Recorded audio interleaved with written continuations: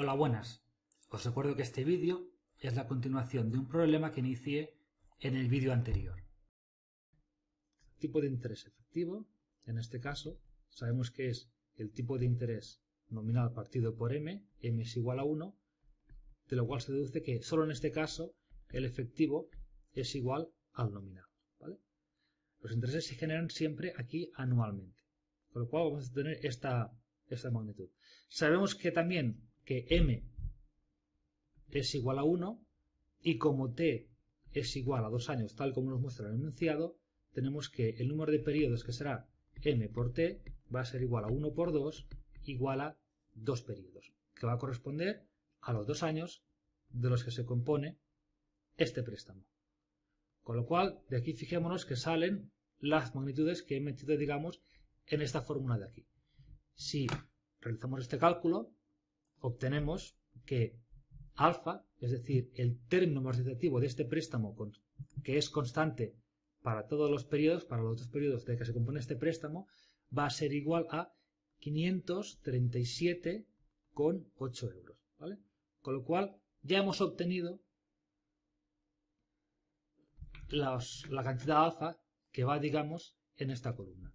Hemos obtenido esta cantidad y esta cantidad. Ahora falta desglosarla en interés y capital y calcular además el capital amortizado y la deuda pendiente de este préstamo. ¿vale? Vamos a empezar por el primer periodo. ¿vale? Empezamos con el primer periodo, que será t igual a 1.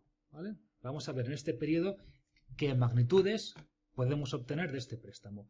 Primera magnitud. ¿vale? Obtenemos alfa. Sabemos que, como dijimos anteriormente, la cuota de interés va a ser igual a la deuda pendiente en el periodo anterior por E, el tipo de interés efectivo. Como esta cantidad es C, porque es al inicio se debe la integridad del capital, esto será igual a C por IM, es decir, 1000 que multiplica 0,05. Es decir, esto va a ser igual a 50. ¿Vale? 1000 por 0,05 igual a 50.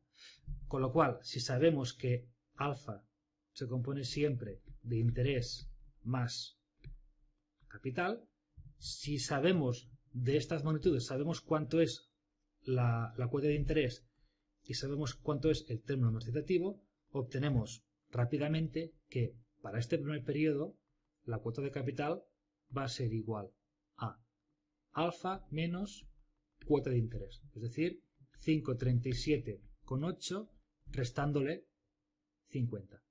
¿Vale? Si a esto le resto 50, obtengo una cuantía de 487,8. ¿Vale? Fijémonos que esto es la cuota de eh, capital.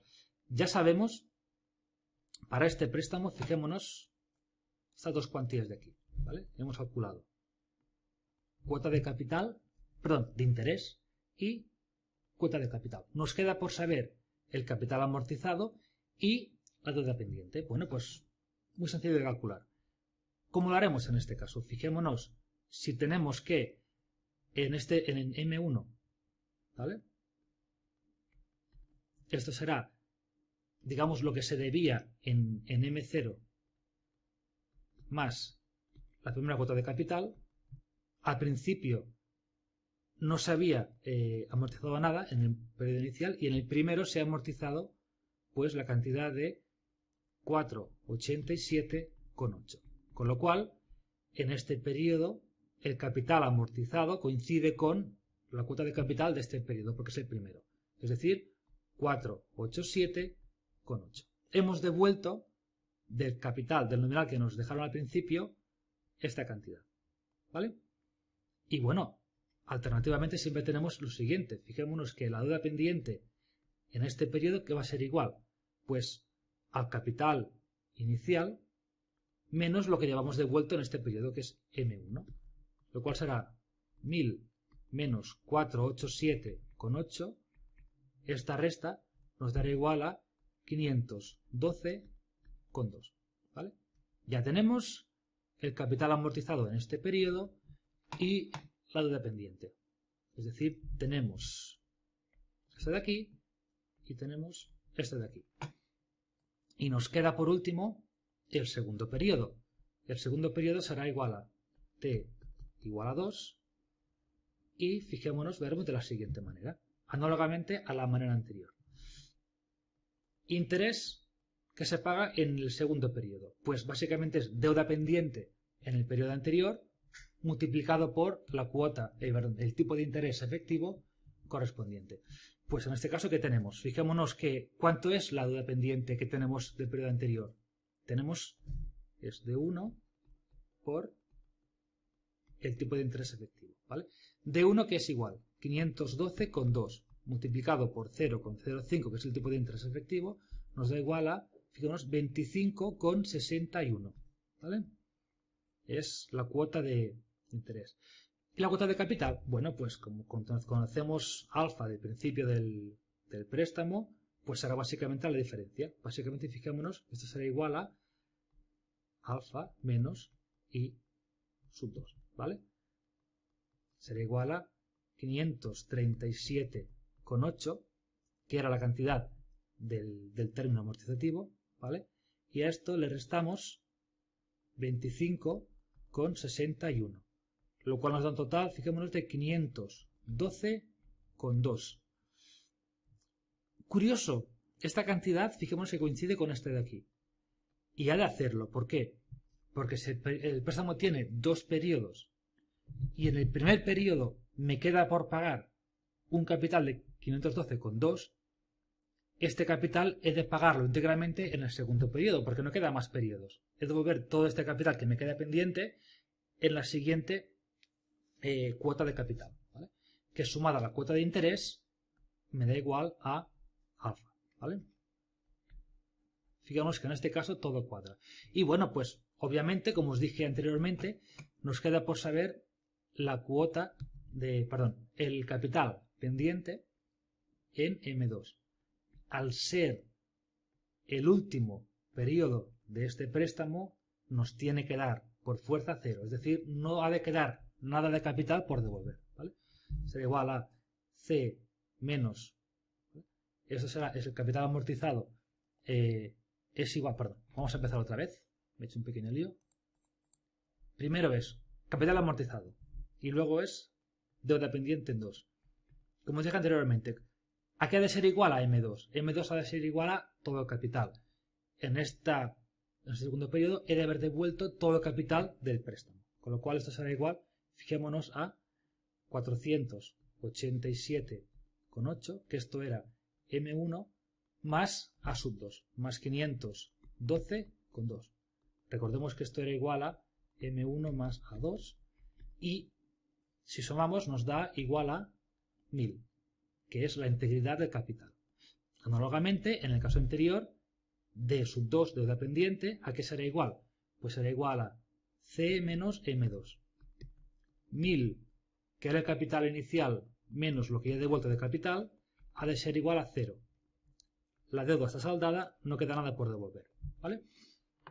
Pues fijémonos, una vez tenemos todas las magnitudes de, que nos piden, que corresponden a este, a este cuadro de amortización, vamos a dibujarlas en este cuadro.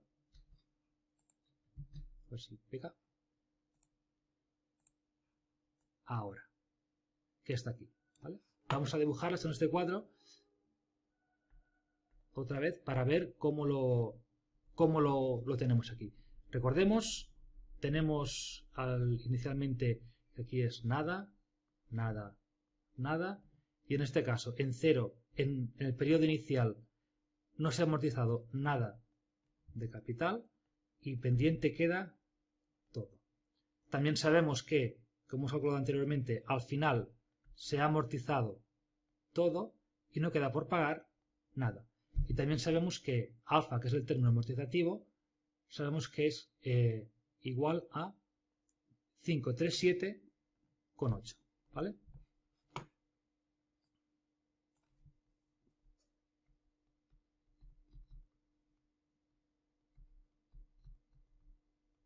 Bueno, y también fijémonos en la cuota de interés de capital que tenemos en este caso. La primera, recordemos que era 50 y la, segundo, la segunda 25,61. ¿Vale? Entonces esto es 50 y 25,61. El capital que se amortiza en cada periodo, en el primer caso recordemos que era de 487,8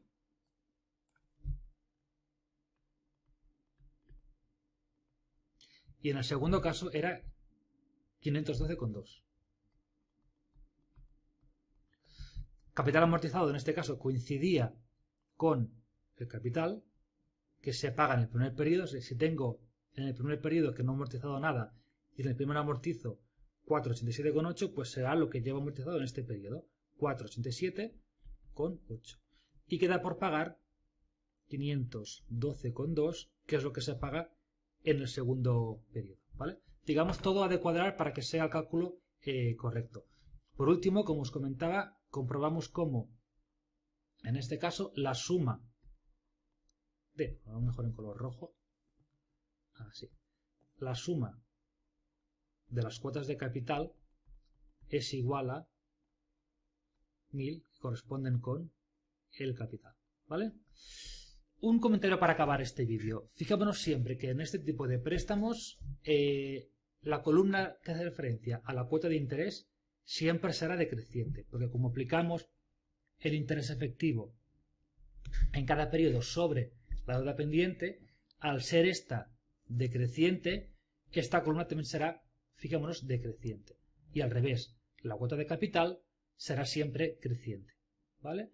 Igualmente, el capital amortizado será obviamente también creciente y esta columna será decreciente. ¿Esto que nos dice? Que cuando tenemos un préstamo francés, al principio las cuotas, perdón, los términos amortizativos alfa, este término del principio, pagaremos siempre lo mismo que al final del préstamo, pero su composición, será básicamente eh, interés. A medida que avance el préstamo, la composición de las cuotas cambiará, de manera que la parte que estemos pagando, la parte relativa al interés, se irá reduciendo e iremos devolviendo más capital a medida que pasa el tiempo, hasta llegar al fin del, préstamo. ¿vale? En siguientes vídeos veremos ejemplos particulares también de préstamo francés, ¿vale? Hasta entonces, adiós.